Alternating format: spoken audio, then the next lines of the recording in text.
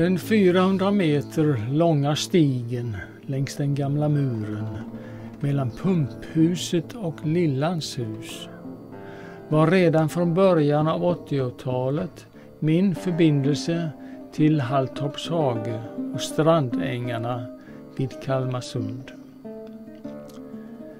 När Halltorps golfbana åter blev till åkermark försvann den förbindelsen.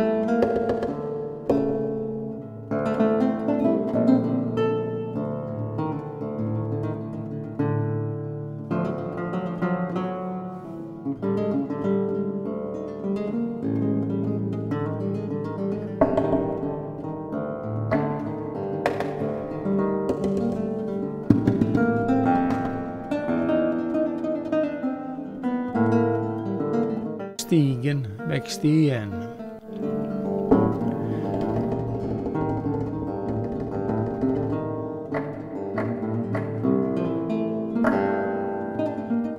Nu har den återuppstått med en ny funktion. En alternativ räddningsväg. Hur gick det till? Jo, två stora förändringar i Alvarsdals fritidsby skedde nästan samtidigt. För det första, naturreservatet Västra Sörby blev verklighet.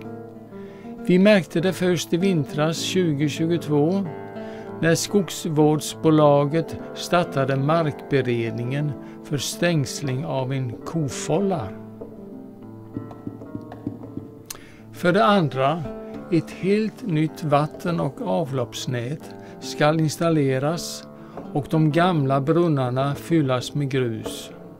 Start i augusti 2022, färdigt till sommaren 2023.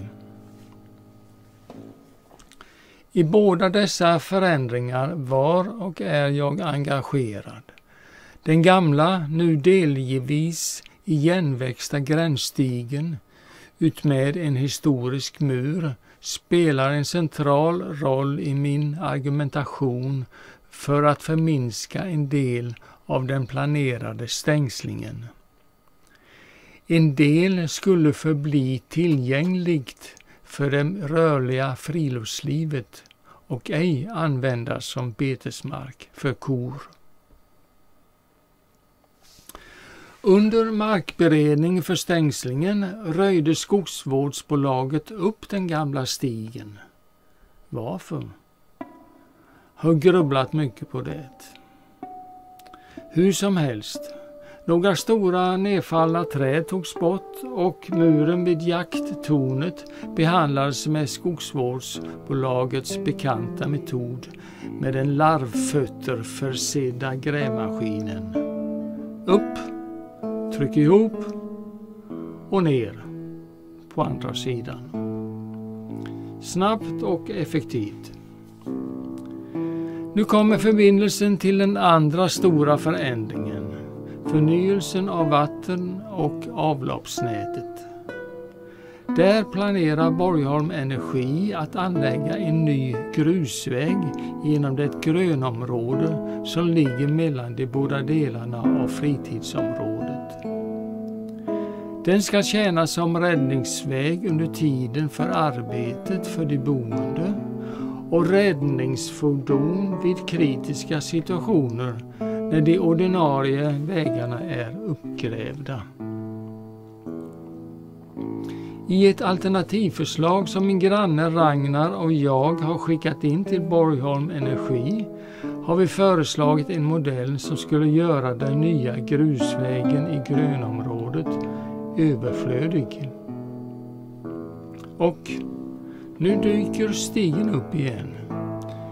I videon Gräs eller grus har jag föreslagit gränsstigen som en alternativ räddningsväg. Jag har nu röjt bort slyet och jämnat ut den nedtryckta muren vid jakttornet och därmed gjort gränsstigen körbar för bilar.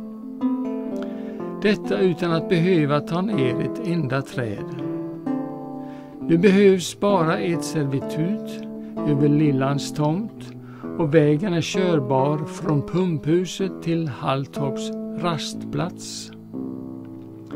Där hade för övrigt skogsvårdsbolaget tidvis en ställplats för sina fordon i vintras under markberedningen för Kofållan. Om Länsstyrelsen vidhåller sin historieförnekande stängslingsplan behövs det åtminstone två grindar. En vid pumphuset och en vid Lillans tomt. Nöjer sig Länsstyrelsen med den tidigare föreslagna alternativlösningen presenterade videon Gränslöst blir den nyuppstådda stigen en gränslös räddningsväg samt ett komplement till labyrinten med dess myller av stigar.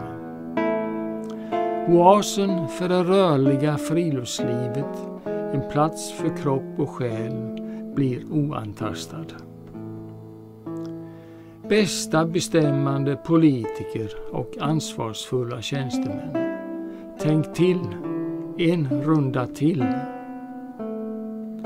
Minimera klimatavtrycket. Endast nödvändiga borttaganden av träd.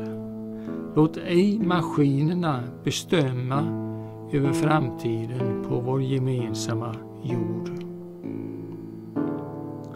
Jag för min del kommer att fortsätta att hålla stigarna öppna så länge jag orkar. Nu sträcker jag ut handen.